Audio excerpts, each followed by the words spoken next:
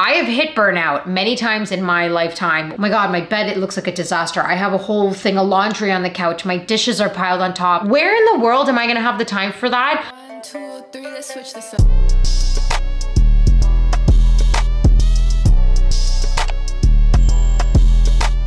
Hello, my beautiful little honeys. Welcome back to my channel. If you are new and this is the first video you're watching of me, my name is Anastasia, also known as your fave social media girl.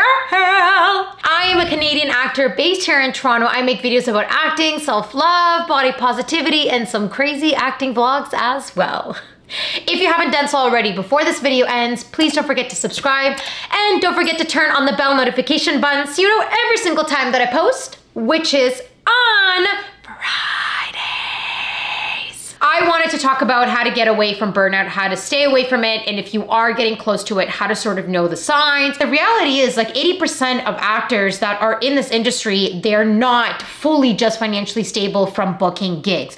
You're also working another part-time job, maybe even a couple multiple part-time jobs. You might even be doing like a full nine to five full-time job. It's a lot. It can get really crazy and plus with the auditions, and let's be real here, like no one is paying us to do auditions. No one is paying us to go to class. In fact, we have to pay to go to class. So it's one of those things that um, it's really easy to get burnt out because I feel like when you're in that stage of constantly working and constantly building your portfolio, your resume, your everything, you are doing a lot of free stuff and you're working multiple jobs just to make the ends meet. So, with that being said, these are my 10 healthy habits that helped me and do still help me, and I hope that they will do the same thing for you.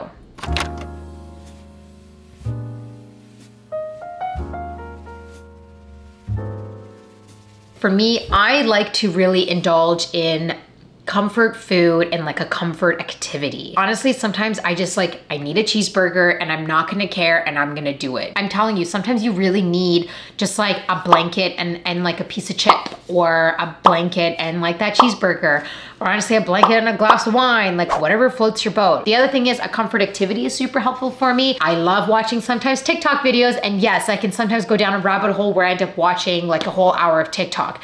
Now, I wouldn't allow myself to go for the whole hour, but I do give myself where I shut my brain off and my comfort activity is going on TikTok and watching stupid, funny videos. So this is important to give yourself that comfort level, that comfort zone, because I think you're always going to be in the state of uncomfortability when you're doing acting. You're learning new things, you're constantly growing. So you're always gonna be in the sense of I'm in not in my comfort zone. So you kind of need to sometimes bring yourself back and go back into your comfort zone and go back into that like, you know, very cuddly area and do what you love or eat what you love and it just warms the heart so much.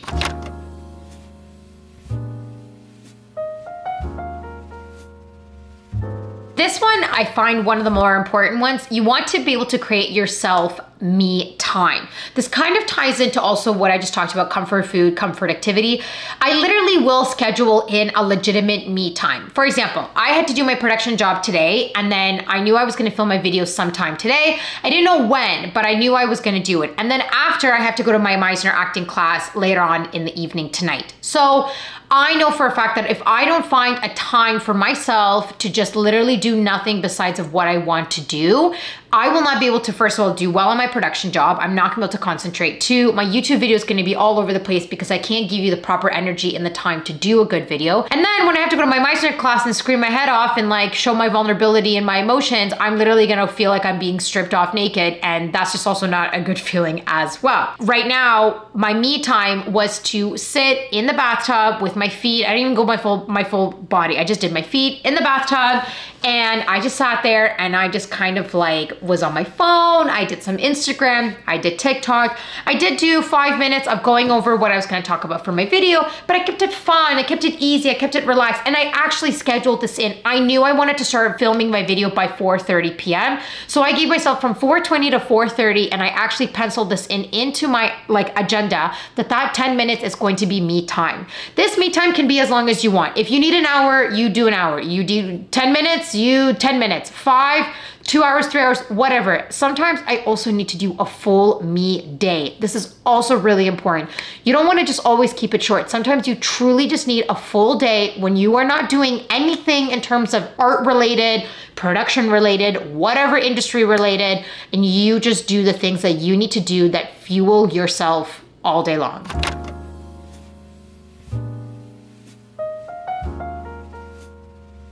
Keeping my workspace and keeping my area super organized and clean is very important for me. When I see a messy apartment or when I see like stuff everywhere and things are not organized, I find it very difficult for me to concentrate because I'm already so cluttered in my brain and there's already so many thoughts going through. It's really difficult for me to sit there and like see all the stuff everywhere. So I would like to take 10 minutes or 15 minutes or 30 minutes, whatever, how much time I need to clean up my place, put the food away, put the dishes away, make my bed. Like it sounds so stupid because there's little things things, but I'm not telling you the little things really do pile up. And then it comes to a point where you're like sitting there being like, oh my God, my bed, it looks like a disaster. I have a whole thing of laundry on the couch. My dishes are piled on top. I have clothes everywhere. Like my shoes aren't put away. And it starts to give you anxiety watching this. So when you clean up your and organize your space, whatever it's your office or your actual apartment or whatever, it just makes the cluttering in your brain less by 10%. And that's a great feeling.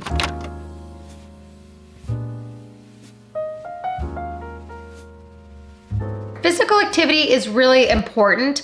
I try to do some sort of physical activity every day. I'm right now really going hard on my gym game. This is something I want to do for myself. I really just sort of let myself go the last couple of months and haven't been doing any physical activity, which I do find that when I don't do that, my body starts to kind of get into this like aggression almost in a way. It can't think, it can't concentrate. I actually feel my digestion doesn't do really well. So for me, physical activity is super important. And not just, I'm not saying that you have to go to the gym and like pick up 20 pound weights and just like go at it or whatever. No, you could be doing a Pilates class or a yoga class, whether that's online on YouTube and you're just doing it in the comfort of your own home, or you're actually going to a studio, going for a walk. When, when you're on your walk, listening to your favorite podcast or listening to your favorite music, you wanna completely disengage from what is giving you the burnout. If it is you rewriting 100 emails a day, don't go for a walk and continue writing those emails. That does that's not gonna help you because you never actually took yourself physically out of your area out of that mindset of where you're having your burnout coming from. The other thing is, obviously, after the pandemic, a lot of us are working from home, especially us actors. Like, this is huge right now. Every single audition I do is strictly just self tape. I have not had any in person legitimate auditions. So, as an actor, you're constantly here all the time. Like, I'm doing my YouTube video at my home, I do my auditions at my home. I do my production job at my home. So you wanna also get yourself out of the house. So the physical activity really helps you for you to literally walk away from your workspace and like disengage and like literally shut the door so you can just like breathe, relax. And then when you come back, it almost looks like a whole new space and it's easier to concentrate all over again.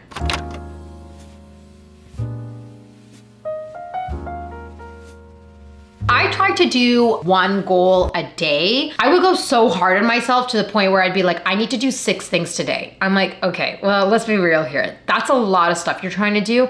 And they're not like six little things where it's like do the dishes, make the bed, fold the laundry, and like print something. That's fine. Those are like teeny tiny six things that will take you all max like an hour. But I would be like, I need to film 30 TikTok videos and I need to take 100 photos for Instagram, and then I need to plan three videos and then film two of them. And then I also need to learn my lines for my class and then also do my acting audition. I'm like, where in the world am I gonna have the time for that? And like creatively, where am I gonna come up with all this? Like, that's too much. You're not even going to be able to physically be that creatively open and vulnerable to do all this.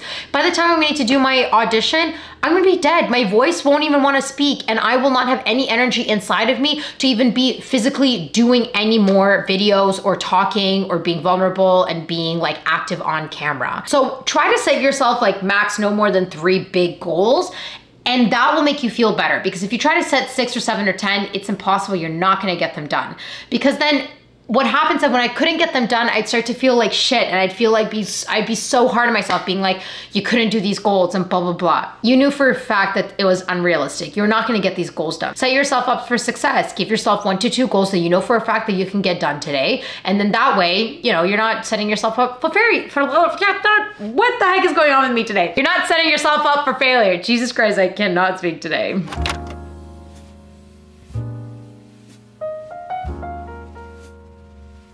Take an actual lunch slash dinner break. This is very important. When I started, and this is particularly even I'm talking about my actual production job, I used to do this where I would get my lunch or get my dinner, whatever, and I'd actually still be working while eating and like eating my lunch or my dinner. This is unhealthy for you because again, you're not disengaging from the work that you're doing. You are literally forcing yourself to think and eat at the same time and you just want to give your body some relax. You just want to allow your body to eat and digest and enjoy what you're eating. I'd actually now I I literally truthfully schedule 30 minute breaks now because I'm like when I serve, we have legit 30 breaks and 30 break, minute breaks is normal for every nine to five standard job. So take that 30 minute lunch break. Clock in and clock out, honeys.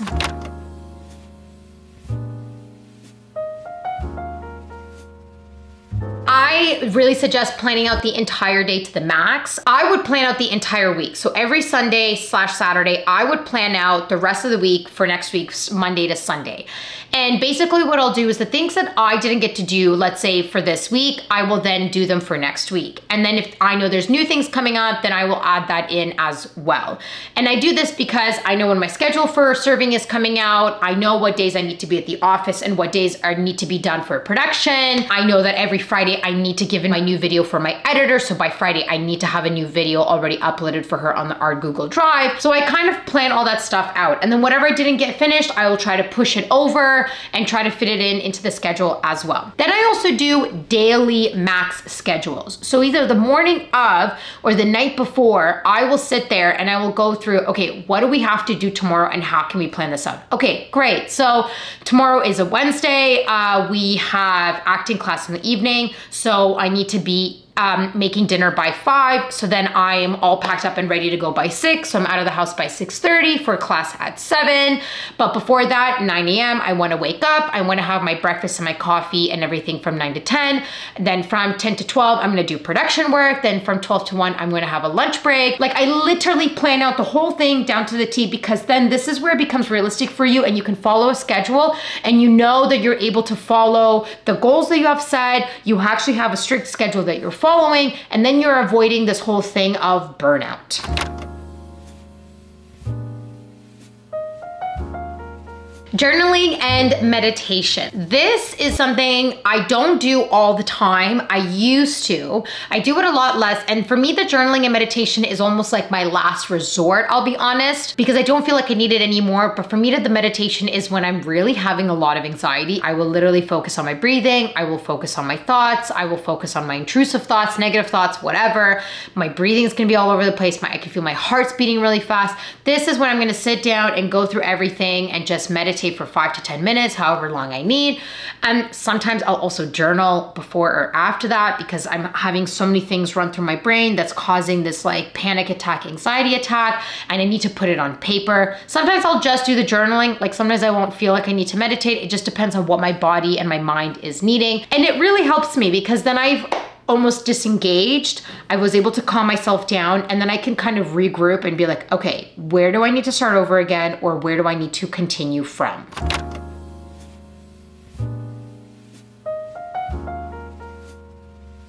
Sleep. Oh honeys, is this ever important? You cannot function if you're not getting proper sleep. You need like proper like eight hours of sleep. And that means like don't go out every night partying because I used to do that. And then I try to be up at like 9 a.m. trying to get stuff done. But I'm like, I just went for the last three nights in a row out drinking. And then now I'm also hungover and now I'm trying to sleep, run off of five hours. If you're working 16 hour days, which is kind of what I'm doing right now when I have to do my production and my acting and then my serving, I need to come home and there are days where I'm like, no, I'm gonna sleep in tomorrow because there's no way I'm gonna get up and get my work done if this is how I'm feeling. So sleep is so important.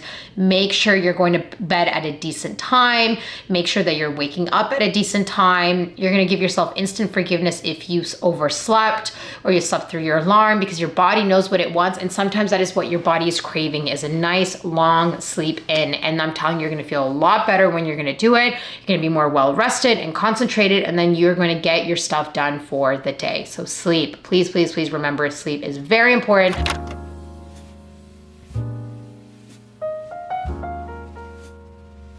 you want to be able to identify when you're starting to hit burnout. I remember this was about a year ago. It's one of my biggest burnouts that I had, and I actually did a video about it. Basically, I remember that I kept denying that I was going into burnout. I kept denying that I was feeling this way. I kept running around like I couldn't stop. And I was just like, go, go, go. And then I'd be like, and now you're gonna go out and see friends. And then tomorrow you're gonna wake up at 7 a.m. and work out and get your stuff done. And I was like legitimately doing this, which was mental. It was insane.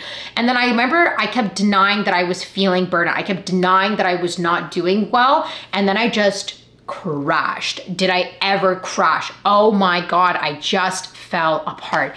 And I was so depressed. I was so like all over the place. I couldn't do my acting classes. I couldn't even do auditions. My agent called me out being like, what is going on with you? And I was like, well, I think it's time to talk about the obvious elephant in the room is that I just hit burnout and I chose to ignore it and then obviously that didn't help me at all whatsoever. When you're starting to feel burnout, that's okay. Like it's not a big deal. Like don't hate yourself for the fact that oh my god, I got myself to burnout. Sometimes you don't even feel that you're in burnout until all of a sudden it just hits you. But when it does hit you, don't deny it. Don't keep going on the big hill and don't keep trying to do this and do that and do that and do this. Like give yourself time, like identify that you're like, okay, I'm in burnout stage. I'm here and I need to take it back a notch. I need to step back. I need to figure out what can I switch to not have this burnout continue on or stop it completely. So identify the burnout, identify that you're feeling this, identify that you're here, and then go from there. Honeys, those are my self-love habits, my avoid burnout habits that have really helped me. Let me know what helps you when you feel like you're in burnout or you're about to hit it. Comment down below. I'd love to hear from all of you. And of course, big hugs. Tell yourself that you are an amazing human being because honeys, we're all just trying to survive here. So I love you. Have a wonderful weekend. If you're in Toronto and you have this gorgeous sunshine behind me, go I was gonna say go check it out. No, don't go check it out. Go out there and actually, you know, love the sunshine. Oh my God, what am I saying? Yikes. Okay, video's over. love you, honeys. Bye.